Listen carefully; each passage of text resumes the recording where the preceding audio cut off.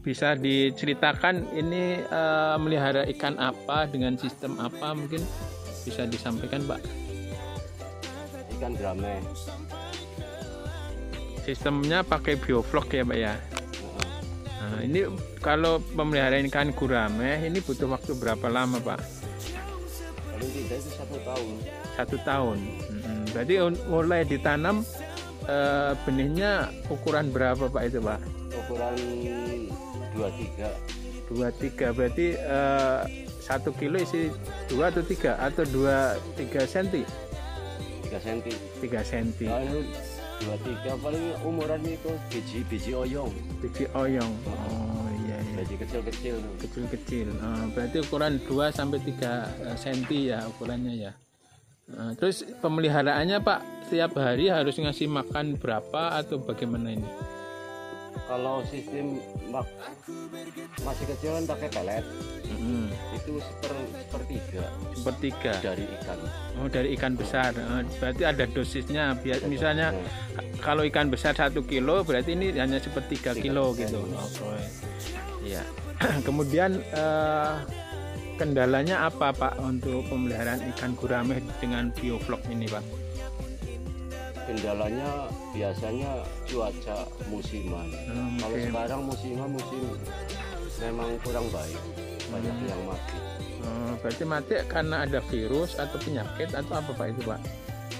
Penyakit. Penyakit. Hmm, terus kadang kena airnya airnya rusak kadang ya hmm. kena penyakit. Oh iya karena nggak bersih ya. Terus perlu diganti nggak Pak selama berapa hari sekali untuk air itu? Itu tergantung tergantung kematiannya. Hmm, gitu. Berarti nanti kalau misalnya kelihatannya airnya perlu diganti, dikuras gitu ya? Dikuras, diganti. Hmm. Nah, kemudian uh, kalau misalnya panen Pak uh, sudah dipasarkan ke mana saja ini hasilnya Pak? Kalau panen biasanya tergantung kebutuhan. Petani kadang-kadang ada yang butuh paling umur dua bulan eh, empat bulan sampai enam bulan ada yang beli ya dijual gitu. Oh ya berarti uh, kadang panennya apa uh, memilih ya pak ya istilahnya. Memilih sesuai dengan sesuai ukuran. ukuran. Yang membutuhkan. Oh iya iya. Uh, kalau panen di sini uh, bapak jualnya sampai berapa pak per kilonya pak? Biasanya satuan. Satuan? Hmm. Hmm, ya jualnya per, per satu ekor gitu ya. Iya. rata-rata harga berapa sampai berapa pak untuk, untuk satu ekor umur 4 bulan 6 bulan itu?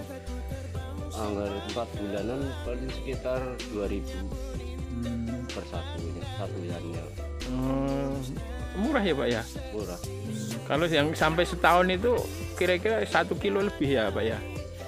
Satu kalau satu tahun anggar dari awal hmm. tidak sampai belum sampai satu kilo belum sampai belum nah, sampai. berarti 8 atau 7 on itu ya nah, iya.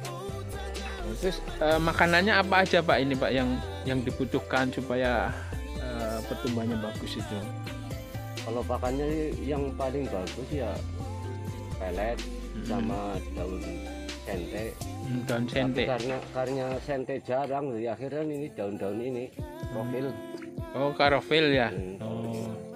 Iya biasanya ada daun lumbu daun apa uh, tales itu iya. dipakai juga ya pak ya? Hmm. terus harapannya apa pak? Misalnya dengan uh, berapa jumlah kolam yang sudah di, dipakai ini untuk apa pelihara? Biasanya cuma empat. Empat kolam. Rata-rata satu kolam diisi berapa ekor pak ini pak tergantung ukuran ikan. Hmm. kalau yang ukuran ini nih 200 200 ekor. 200 ekor. Itu benihnya yang 3 cm tadi ya?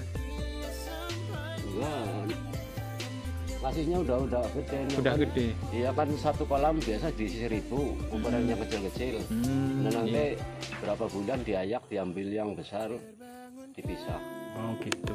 Ya ada pemijahan gitu ya? Hmm. Ya berarti uh, sudah berapa lama nih Pak Ali melihara ikan dengan sistem bioflok ini? Di sini sekitar tiga tahunan. Tiga tahunan. Yang kira-kira yang yang masih ada kendala di apanya pak itu pak di proses pemeliharaan sampai usahanya itu?